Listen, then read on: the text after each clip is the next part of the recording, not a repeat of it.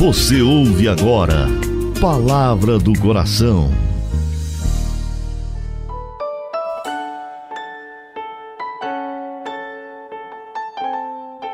Em nome do Pai e do Filho e do Espírito Santo. Amém. Jesus Cristo, coração fiel, moldai nosso coração ao vosso, pois confiamos em vós. Que bom encontrar você nesta segunda-feira, 14 de junho de 2021. Este mês bonito, o mês do Sagrado Coração de Jesus. Podemos celebrar um trido tão lindo. Quem participou pode comprovar isso. Se você perdeu o nosso trido, pode revê-lo no nosso canal do YouTube, porque foram momentos de oração, de palavra, de esclarecimento, de entendimento sobre o Sagrado Coração de Jesus. Este mês, o mês de junho, mês do Coração de Jesus, é mês em que nós, comunidade Coração Fiel, recordamos o nosso 16º aniversário de fundação. Eu quero a partir de hoje iniciar com você uma série de reflexões sobre detalhes da espiritualidade, da devoção ao coração de Jesus, uma vez que estamos no mês a ele dedicado.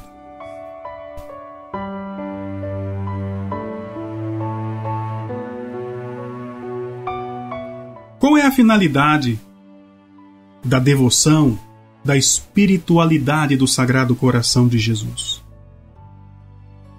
A única devoção do cristão deve ser amar a Jesus Cristo.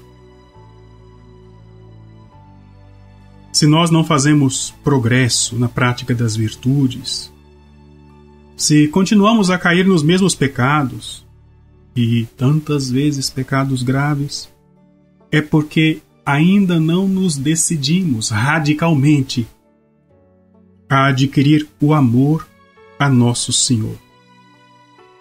É Ele, é Jesus quem nos salva. E foi para conquistar o nosso coração que o Verbo se fez carne. Ele mesmo afirmou no Evangelho de Lucas 12:49: Eu vim trazer fogo à terra. E que desejo, senão que se acenda? Observe. Deus Pai deseja que nós amemos a Jesus. O Pai enviou seu Filho ao mundo para ganhar o seu amor, o meu amor. E ele fez isso revelando este amor apaixonado no Calvário. Aquela famosa canção do Martim Valverde traduz maravilhosamente isso. Olhe para a cruz, esta é a minha grande prova. Olhe para a cruz, foi por ti, porque eu te amo. Ninguém te ama como eu.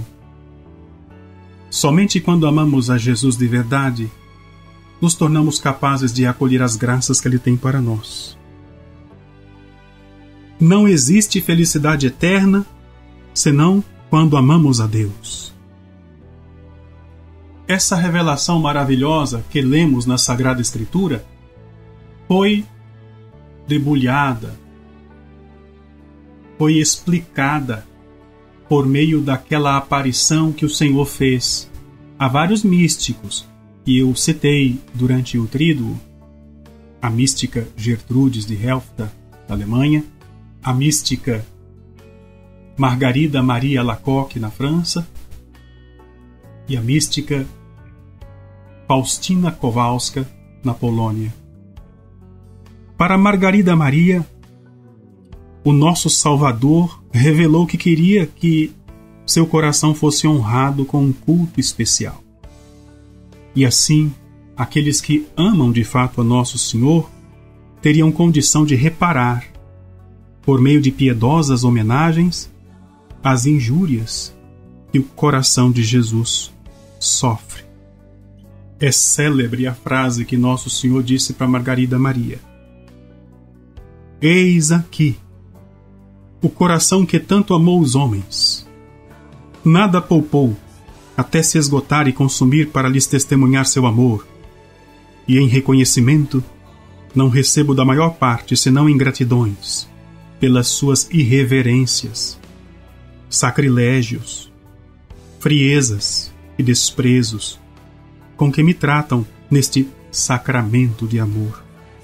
Entretanto, o que me é mais sensível é serem corações a mim consagrados, aqueles que agem assim.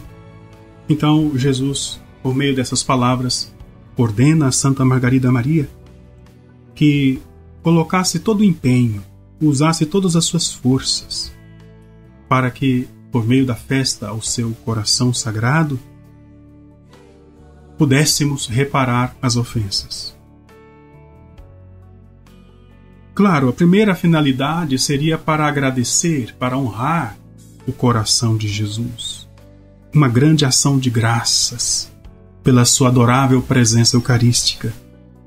Uma segunda razão seria para que os verdadeiros devotos, os que vivem a espiritualidade do coração de Jesus, pudessem reparar as ofensas, irreverências, desprezos que ele recebe, de modo especial na Santa Eucaristia.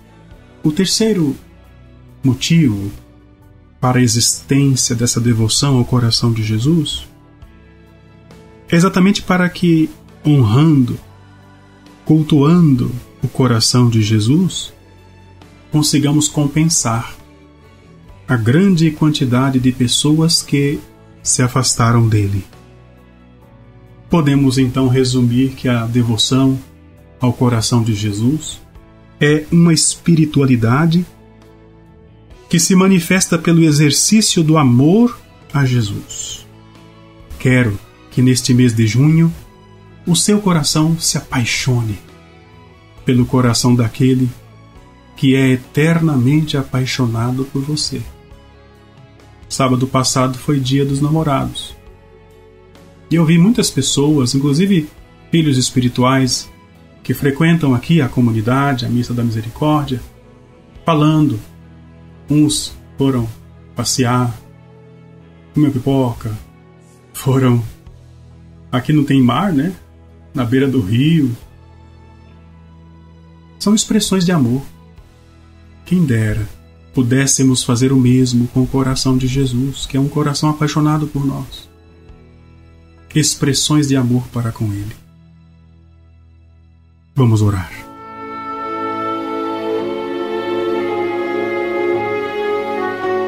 Senhor meu, Jesus Cristo, que por amor dos homens ficais noite e dia no sacramento do altar, onde todo cheio de misericórdia e bondade estais, chamais e acolheis todos os que vos vêm visitar. Eu creio que estais presente no Santíssimo Sacramento. Senhor, desde o abismo do meu nada, eu vos adoro. E rendo graças por todos os benefícios que me tendes feito, especialmente porque vos destes a mim neste sacramento, porque me concedestes por advogada a vossa mãe, a Santíssima Virgem Maria, e me chamastes a vos visitar nesta igreja.